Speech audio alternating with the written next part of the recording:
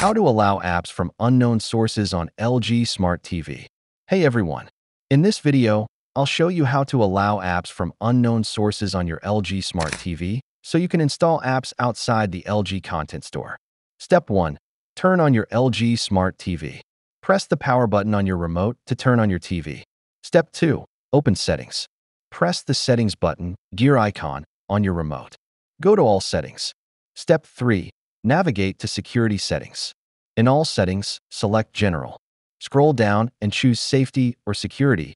This option may vary by model. Step 4. Enable Unknown Sources. Find unknown sources or allow apps from unknown sources. Turn this option on. A warning message may appear. Read it carefully, then confirm if you agree. Step 5. Install apps. And now you can install APK files or apps from sources outside the LG Content Store.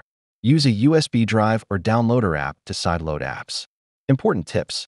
Be careful when installing apps from unknown sources to avoid malware. Only install apps from trusted developers or websites. Thanks for watching. If this helped, please like the video and subscribe for more LG Smart TV tips.